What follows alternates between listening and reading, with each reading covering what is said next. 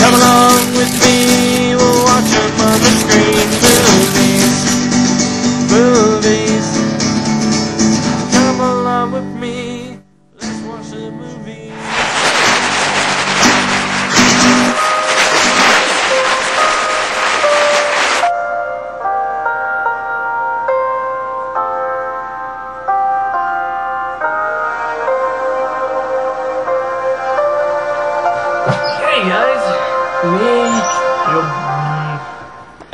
yo, it is Lazy 99. Hi, how's it going? So, I am doing what I like to call my underrated recommendation.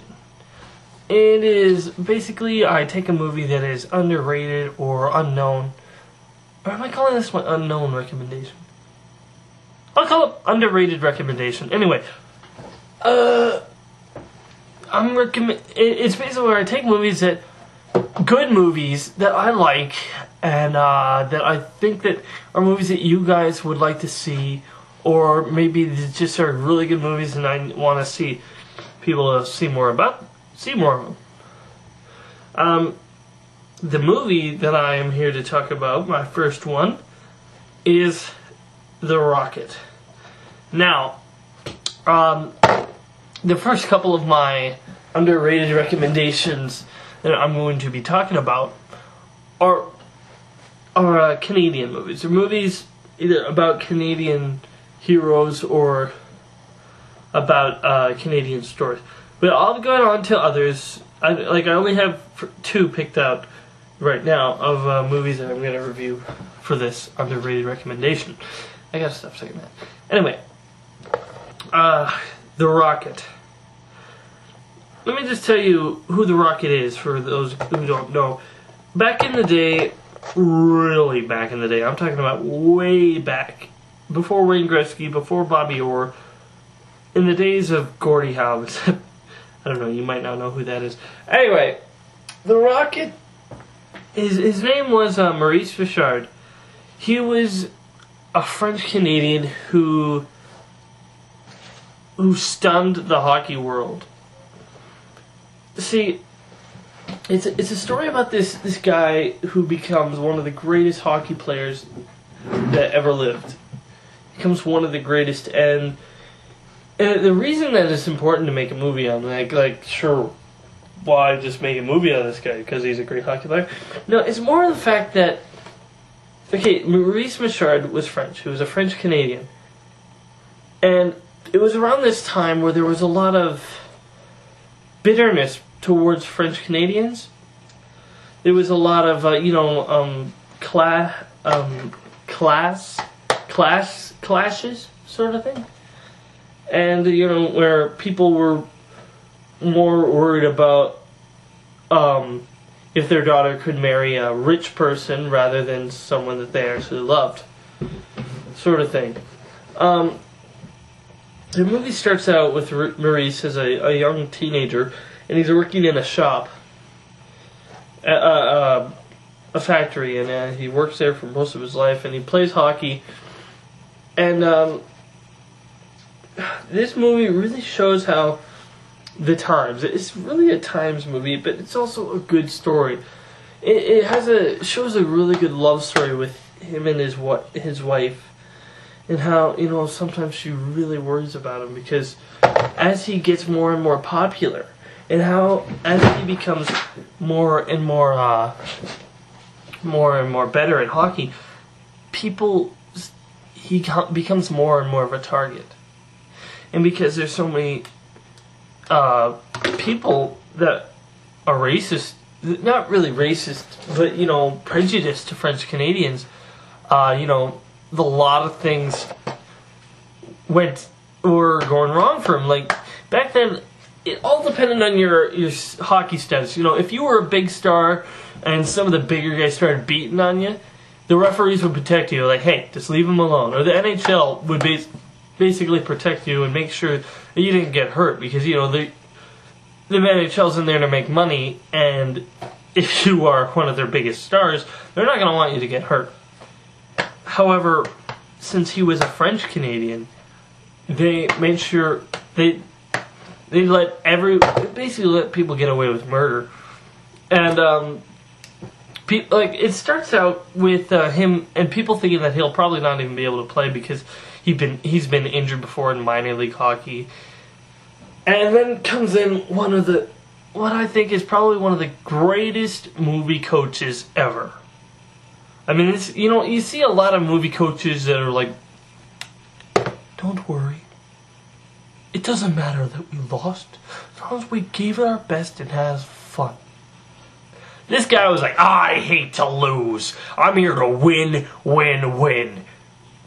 It, it's and he's and he's so funny in a way, like um. He's, he's talking to like the manager or something. He's like, "I need players who hate to lose." One of the players shows up, "I hate to lose, sir." He's like, "No, you don't."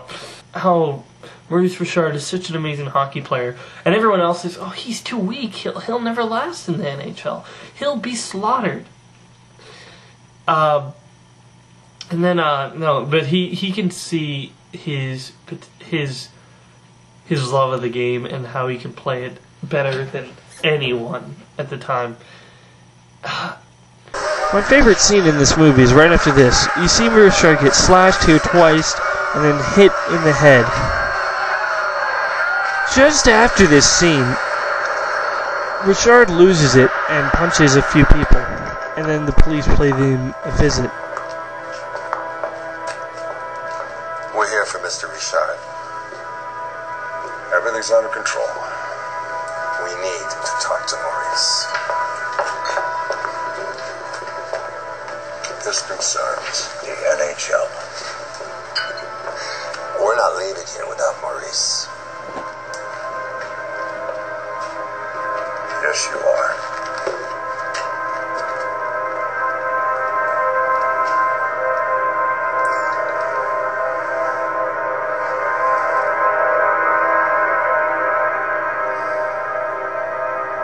This is a powerful movie. Now it is in French and in English.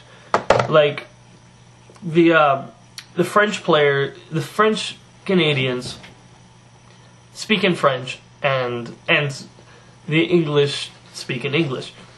But uh, you know, it, it's just that's the way it, it is, right? Uh, that's just the way it goes. Uh, but uh, it, it, it, addresses a lot of the issues that French Canadians were dealing with at that time.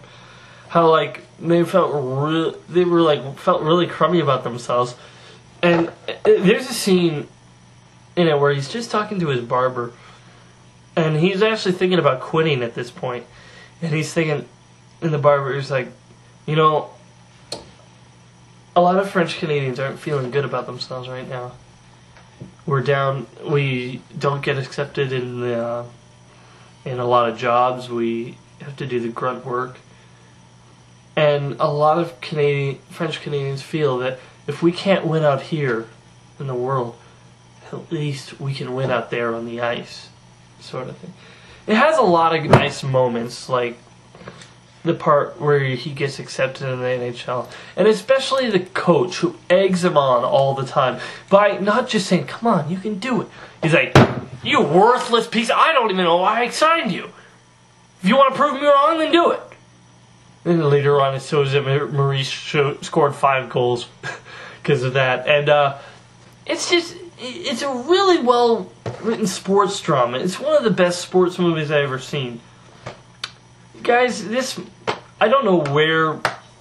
Besides Canadians, we can probably find this around. I don't know where you guys would find it. You might have to order it or something. Who knows? Maybe you'd find it in a video rental store or could uh, order it from a library.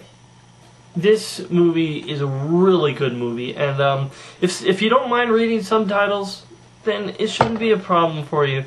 And it can just show how this one man sparked a whole nation and took took it by storm just by playing the game. And it's, as I said before, hockey's not just a game for Canadians. And the Rocket is one of the, I mean, the actual Maurice Richard is one of the pivotal points in hockey history. Like, this is what I always say. Or no, show me a great hockey player and I'll show you a good movie. Sort of thing. Because every great hockey player has a story. Every great hockey player has a story. Not saying that good hockey players don't have a story either. I mean, of course they do. So this is my underrated recommendation: The Rocket, the man who took a nation by storm. So, what do I give it? Oh, I guess I give it a eight out of ten. I gotta find some bad movies and bad comic books to review because I've never given anything lower than a seven. Maybe I'll do another, you know, I'll do an underrated uh, recommendation. Maybe I'll do an overrated piece is of in garbage. That would be funny. Anyway, so remember, guys, I'm LazyD99. If I don't like it, man, it's not worth it. So, see you around. Be sure to check out more of my other videos on my channel. And wait for more